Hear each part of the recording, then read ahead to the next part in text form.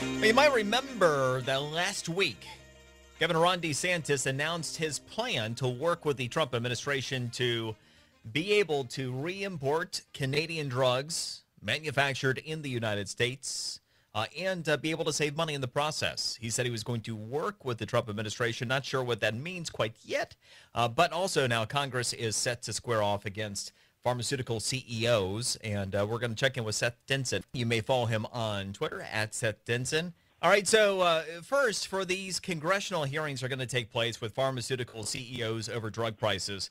Do you anticipate anything of substance happening here, or is this simply going to be congressional soundbite material where they say, "Hey, listen, I, I talked tough and beat up the the pharmaceutical guy"?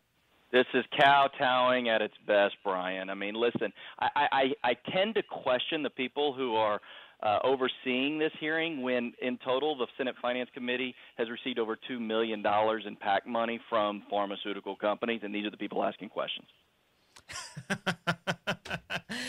uh, so what you're saying is uh, they already had their arrangement in place during the election cycle, and uh, the the CEOs go in here knowing where their loyalties ultimately lie, and they're just going to sit there and take their beating.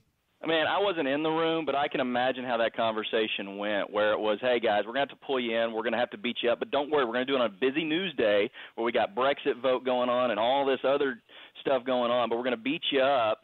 Uh, but in the end, we're not going to do anything. Listen, if Congress really wanted to get serious about changing the pricing of pharmaceuticals, Brian, they could do things around FDA requirements uh, to get new drugs to market, patent extensions, allowing foreign markets to sell drugs here in the U.S. I mean, there is a ton of things they could do that are that would seriously change things. But the pharmaceutical companies, they're just playing by the rules of the game that are out there. And until we change the rules a bit, they're doing what they need to do. Yeah, Seth, I wanted to ask you about that. Last week, our Governor Ron DeSantis announced his plan to import drugs from Canada. And if you take a look, the average savings on the top 20 drugs that are prescribed in uh, the in Florida, uh, they are 45% cheaper in Canada. So without a doubt, if we were able to do that, there would be savings. I, I know that for every action, there's an equal and opposite reaction. Do you think that if we were successful in being able to import Canadian drugs, that we would ultimately see significant savings?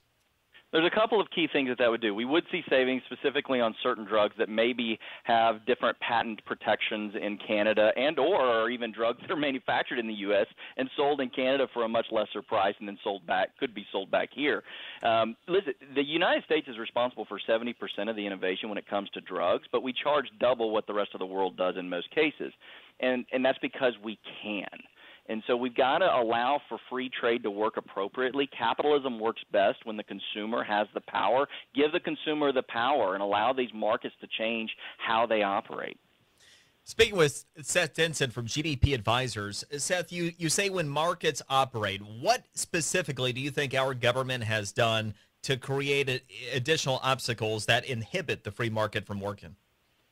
Well, a couple of things. For example, I'll just use Humira, which is a drug you can't turn on your television and not see a, a commercial uh, for Humira. Humira was approved in 2002, and it's had so far 21 years of exclusivity because the government continues to allow for an, its patent extension, and it so it shores up the oppor- or eliminates the opportunity for any drug manufacturer generic to bring a generic to market. And this is not. I mean, I'm not just beating up on Humira. It's just the one that's mostly known by every company is doing this and the government is allowing it to happen. They're just continuously allowing for pharmaceutical companies to do this. And the other thing that this is a new game that's being played by pharmaceuticals is taking two generic drugs or even over the counters mashing them together filing a patent on the combined drug so let's say metformin and aleve and charging $2000 for it and getting a patent for it well, that's like me taking peanut butter and jelly and sticking it in a sandwich and saying, "Well, I took two total opposite products,